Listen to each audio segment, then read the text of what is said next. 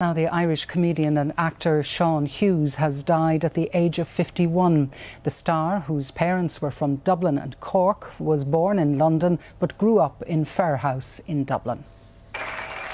Mischievous, anarchic, and very, very funny.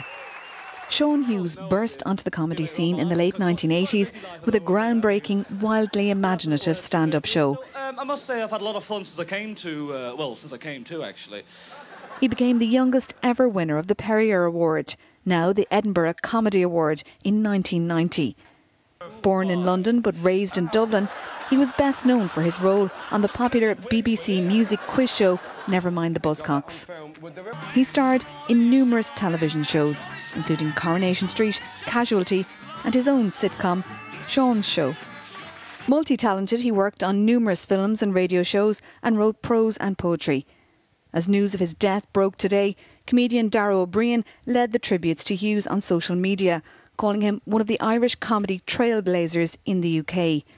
A point echoed by others, including RTÉ, who in a statement said he had forged the way for a generation of Irish comedians and performers on both sides of the Irish Sea.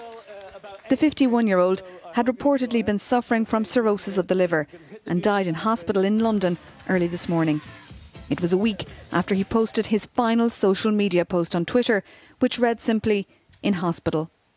Breaking the news of his death today, his former management company, RBM Comedy, described him simply as a master of comedy who was very much ahead of his time.